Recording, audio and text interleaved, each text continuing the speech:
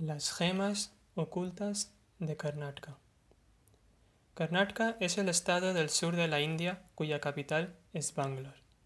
Es el sexto estado más grande de la India. Se extiende desde Belgaum en el norte hasta el sur de Mangalore. Karnataka es una amálgama de muchas culturas diferentes. El paisaje natural de Karnataka añade belleza a los lugares turísticos. Es una tierra cautivadora, rica en belleza, escénica, flora y fauna. Hay un montón de lugares para visitar ahí, y una gran cantidad de lugares obtienen menos exposición, e, pero son igualmente increíbles para visitar como sus contrapartes. Vamos a echar un vistazo a ellos. Shivagange. Shivagange es un lugar de peregrinación de gran importancia para los hindúes. La belleza escénica de Shivgange es fascinante y el terreno rocoso es un lugar ideal para el senderismo. La forma de la colina es como el Shivalinga, y un manantial de agua fluye desde la montaña que la gente llama Ganga. De ahí sale el nombre de Shivagange. Shivagange también es conocido como Dakshinakashi debido a la presencia de muchos templos que suman a la divinidad del lugar. Los templos que se encuentran aquí incluyen Patal Gange, el templo de Sri Honadevi, la estatua de Nandi, Olokal Tirtha y el templo Gangadhareshwara. La estatua cortada en roca de Nandi, también conocida como Basavanna, es una atracción importante aquí. Las estatuas están talladas en las rocas empinadas y la escultura es única.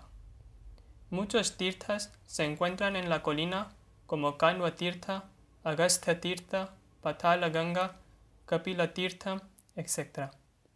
Otros templos que se pueden visitar aquí son el templo Shardamba, el templo de Sri Hona Devi y el templo de Sri Gavi Gangadhareshwara.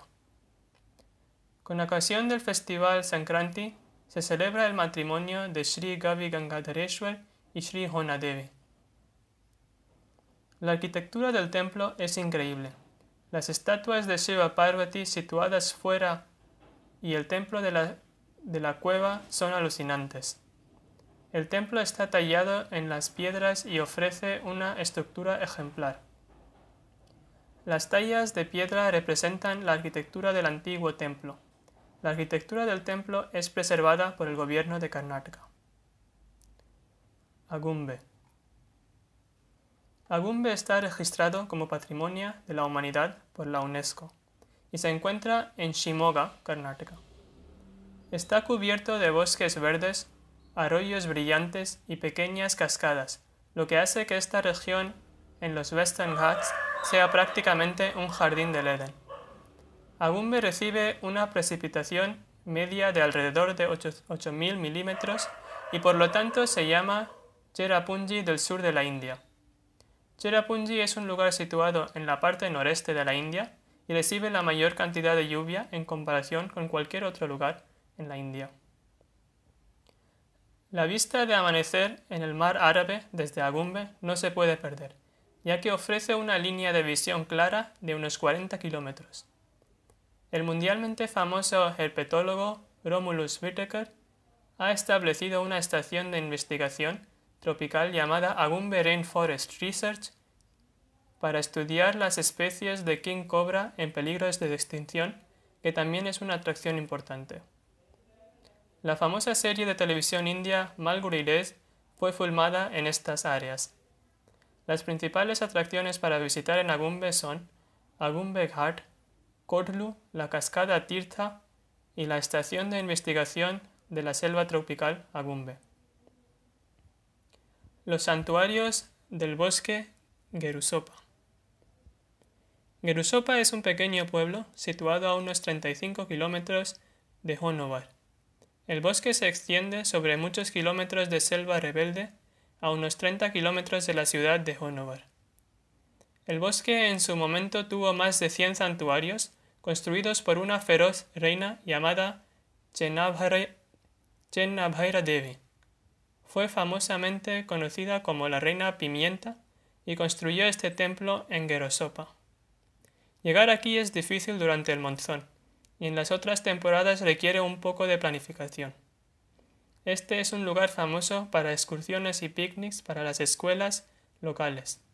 También hay un templo Jain, Chaturmukha Basari, en las ruinas. Chitradurga.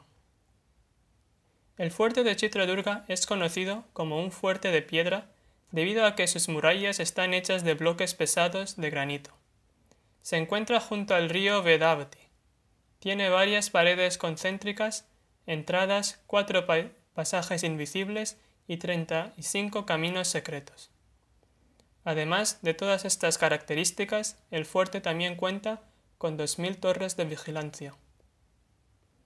El fuerte tiene numerosos templos como Zampige Siddheshwara, Hirimbeshwara, Ekanathama, Falaguneshwara, Gopala Krishna, Anjaneya, Subaraya y Basava.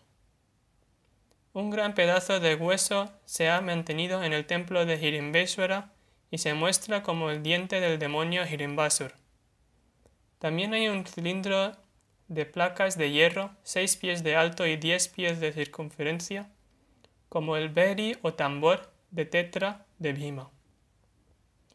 Una figura de Hirimbasura está esculpida en el Vimana.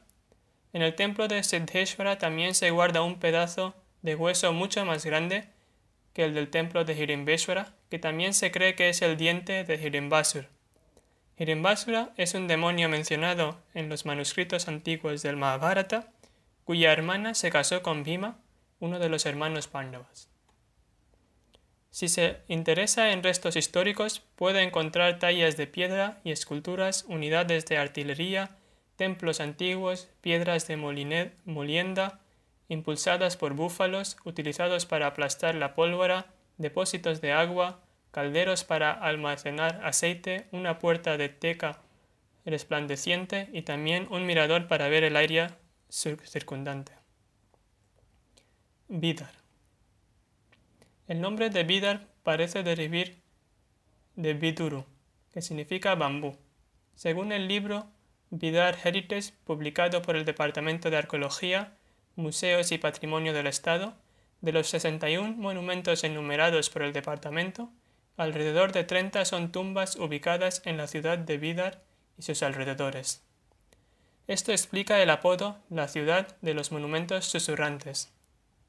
Los sitios patrimoniales de Envidad y sus alrededores se han convertido en la principal atracción para el rodaje de películas en los últimos años, tanto Bollywood como industrias cinematográficas de Karnataka. Vidar también es considerado uno de los lugares más sagrados para la peregrinación de Sikhs. A diferencia que otros lugares de la región, Vidar es el lugar más frío y húmedo del norte de Karnataka. Banavasi. Banavasi está situado a unos 25 kilómetros de la ciudad de Sirsi, que es un pueblo pequeño. La principal atracción del templo es un enorme Nandi frente al señor Madhukeshwara y el señor Madhukeshwara en forma de linga. El linga tiene un tono de color de miel en ella y por lo tanto el dios Shiva es llamado como Lord Madhukeshwara. Madhu significa miel en Canadá. Esta tierra mágica, como descrita en los poemas de Yamarasa y Kalidas, ha perdido su glorioso brillo, pero no su elegancia. Los templos ornamentados, el elegante río Barda, paredes derrumbadas de un antiguo fuerte, gente hospitalaria y deliciosa comida continúan infundiendo vida en esta antigua ciudad. Es un lugar donde las diferentes estaciones llegan con un encanto único de su propio, con un encanto único. Invierno con niebla acariciando flores de loto que florecen en los diversos estanques, monzones con una espesa niebla y cascadas, y el otoño con un toque de frío y primavera con la fragancia de las flores. Las instalaciones del templo son un tesoro de esculturas. Hay esculturas de varias deidades alojadas en templos pequeños en el patio en particular una escultura de Naga con una inscripción en Brahmi y Prakrit. es un trono de piedra intrincadamente tallado donado por Raghunatha Nayaka en el siglo XVII.